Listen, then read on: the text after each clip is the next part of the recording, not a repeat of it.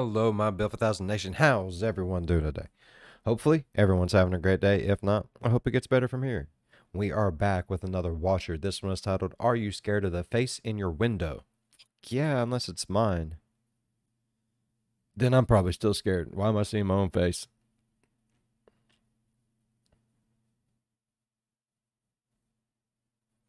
All right. I really enjoy the Are You Scared series. Hopefully, you guys are enjoying them as well. If you are, go ahead, turn them lights down low, put on something comfy, couple something special. Let's get spooky.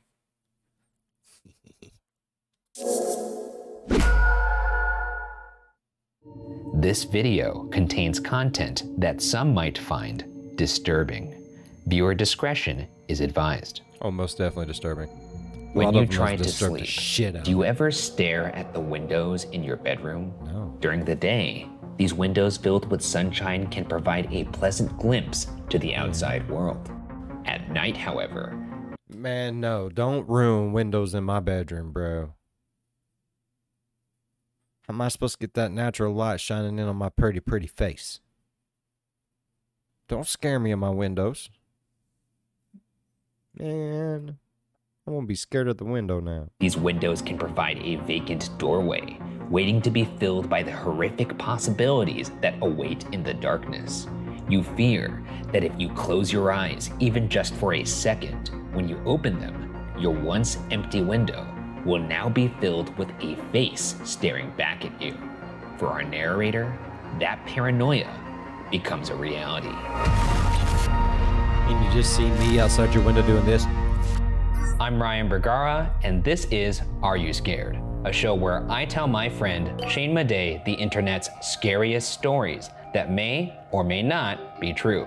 Now, I have not read this story before, and neither has Shane. So lock your doors, turn off the lights, and let's see if we can make it until the end. The Red Van.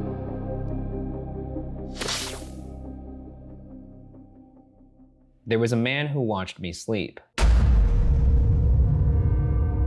He had big eyes that seemed to protrude out of his eye sockets. He had rotting red skin, like it was soaked in blood and then caramelized. wait, wait. Already, already. This is, this is the beginning of the story? I'm just reading what's on the screen, and this one happened to get off to a rollicking start. I don't know what you Really want. from going me. for it. Just zero to 60. If that's what you want for a season I- premiere. yeah. You don't want you don't want to come back, uh, you know, with the snickle fritz. You want to come back with the good stuff. I first saw him when I was seven. I was having a hard time sleeping that night, but I kept my eyes shut. The wind was cold. I could feel it creeping on my skin. It was laundry day, and mom didn't have a spare blanket. The window made a faint thumping noise whenever the wind blew. Thump. I should have closed it properly. Thump. But it's fine. The broken street light outside made a constant buzzing noise I really liked. I need to sleep. I could faintly hear the television noise. from the living room. Mom probably fell asleep. Can't stand the buzzing noises of lights. Oh my god, it drives me insane. Sleep on the couch again. I really need to sleep. I was a light sleeper. Anything could wake me up. I guess even the absence of the thumping. The wind wasn't howling against the window anymore. Maybe mom closed the window as I slept. I rubbed my eyes and shifted to my other side when I noticed a shadow on my wall. There he was, smiling. He was the oddest thing I ever set my eyes on. I remember my hands shaking. I waited for him to enter my room and hurt me, but he didn't. He didn't move at all. His eyes didn't blink, not once. I waited for him to speak, but he never made a sound. I remember feeling frightened. I don't remember how I fell asleep again. There was a man who watched me sleep. He had a weird set of teeth. It was as if each tooth belonged in somebody else's mouth. He does sound like he he does sound like he respects boundaries. How? What? How? How is? How is? I have a thing with mouths. I have a thing with mouths, man. I don't know why. They're disgusting. They are. Don't don't tell me this motherfucker had teeth that looked like cause now yeah.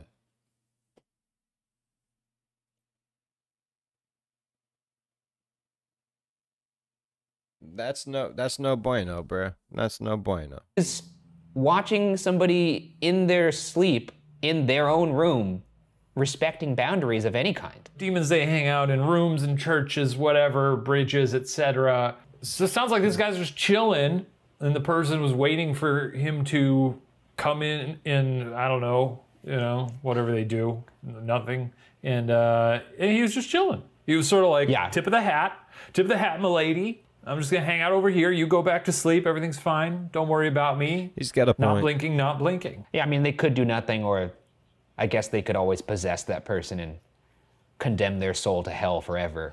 But Yeah, that's, you know, that's two options. His eyes were more bulged the second time Yeah, I saw him. uh-huh. Yeah. He almost looked like a different person. I was nine that time. Mom made me stop going to school. She never told me why, but I could sense that I made people feel uneasy. My classmates rarely talked to me, but when they did, they would keep their distance. They didn't want me there. I got used to it. I didn't care. This just seems like a sad aside from what's going on in their bedroom. Do, do the kids at school know that the red man is in her bedroom?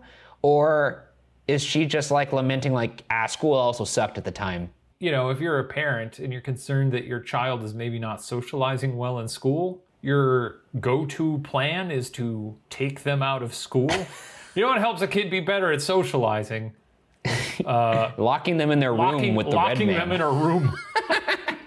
Mom hired a teacher who came to our house every weekday. His name was Dr. Fleece. I liked him. He would always look at me in the eye when he listened to my stories.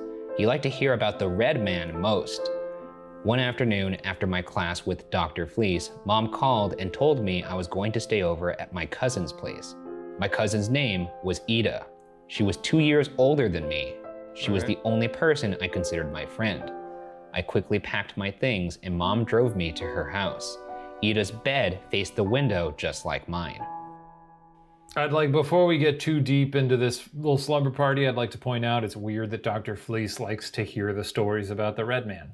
I'm just going to put that out It there. is a little weird. Oh, the red man, again. know, I always love hearing about him. Caramelized, you say? Protruding eyes, huh? Tell me more about his people. Teeth from other people's mouths. I might be turning the corner here on Dr. Fleece. I got, yeah, yeah, I'll say it. Dr. Fleece, I like him. I, I, if this is a true story at the end, the first thing I'm doing is looking up Dr. Fleece and where he practices. It was around 11 when Ida fell asleep. She spent hours talking about her school life, her friends, and the boy she liked. I pretended to understand and made up stories of my own. Mom didn't like it when I told our relatives that I was homeschooled. It was quiet in Ida's neighborhood. It wasn't Why windy not? that night.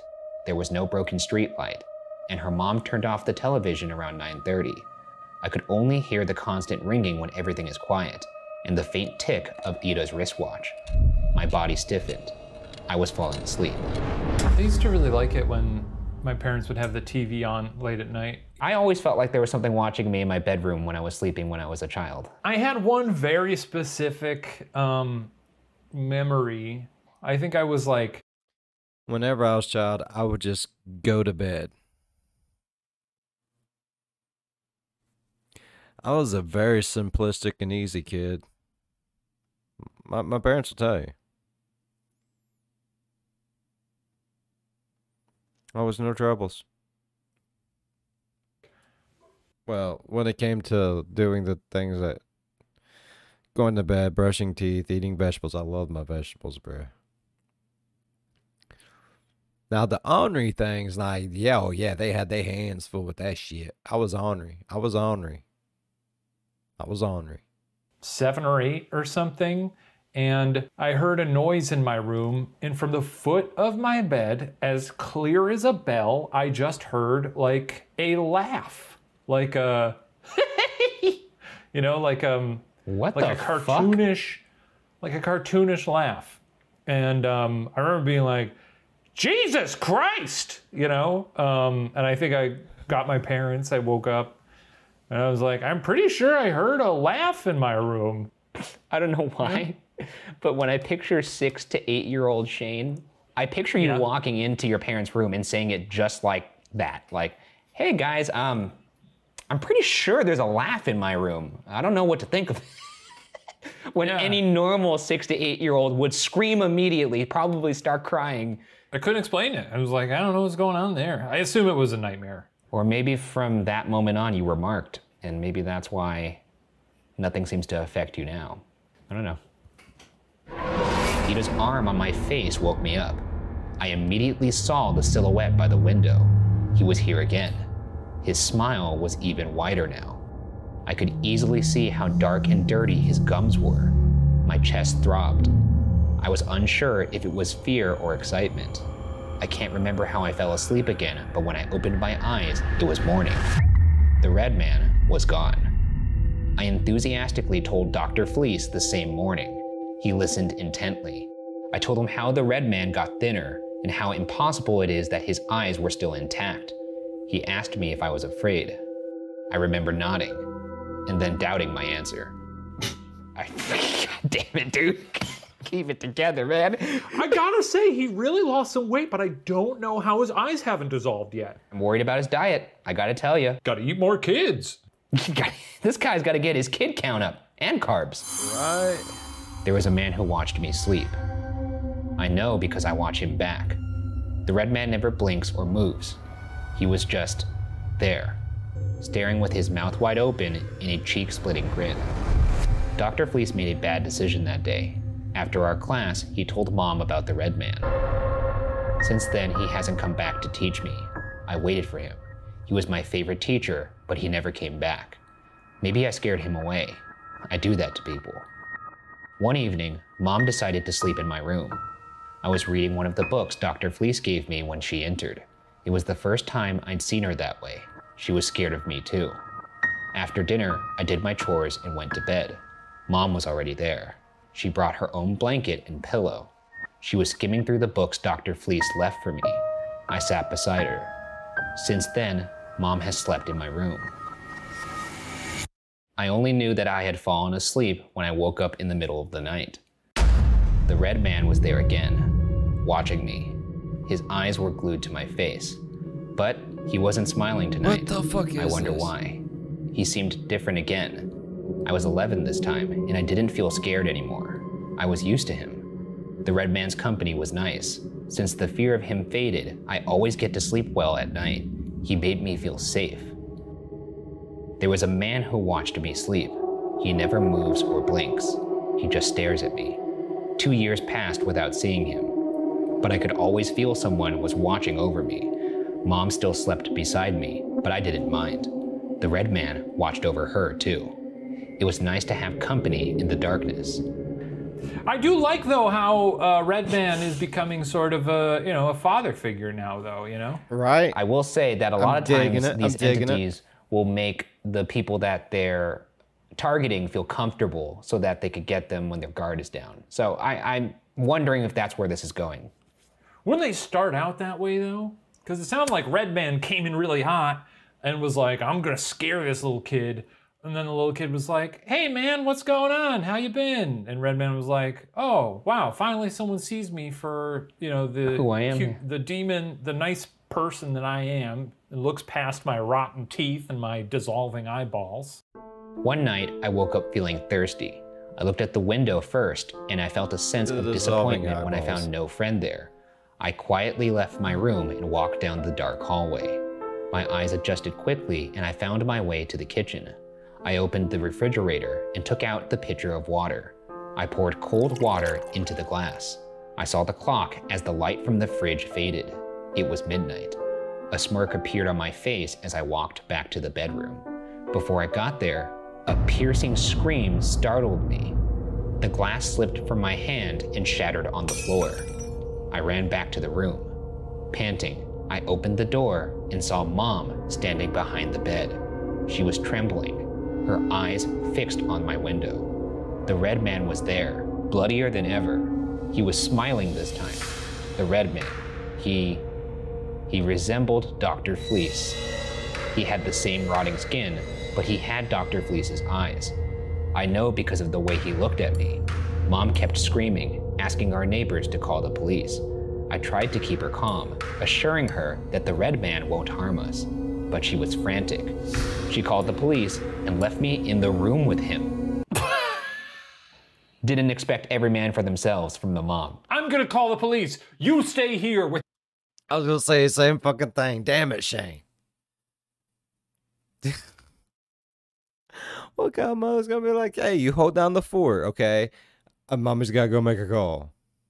Don't you worry, mommy will be fine. You creepy little bitch. You've been seeing this motherfucker for years. You're safe. You're good. That's what was going through her head. Nah, this is this little motherfucker's friend. Like, it, it, I know. The red. I'm sorry, I murmured, feeling embarrassed by how my mom was reacting. The red man didn't respond, just smiled. After calling the police, my mom dragged me out of the room. I peeked into my room and he was still there. Mom hugged me and brushed my hair with her hand.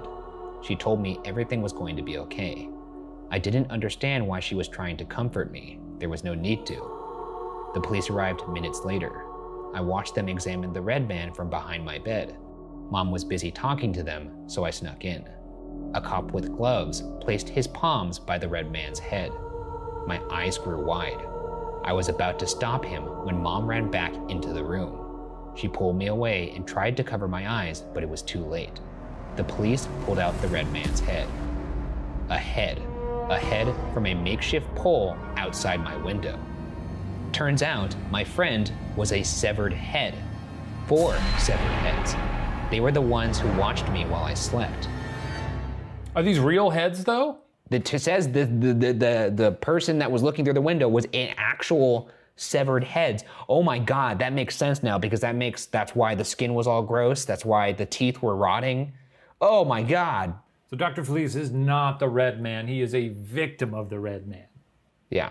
Well, you know, I gotta say, rip Dr. Fleece. Look, let's just hold out hope for our guy, Dr. Fleece, and, and apologize because we doubted him. Yeah, that was rude.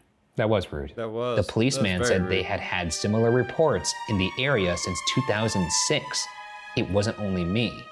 One kid who was three years younger than me had been saying the same thing. He had had his own red man, but his mom thought he was only imagining them. He disappeared just two weeks before. She was also a single mother.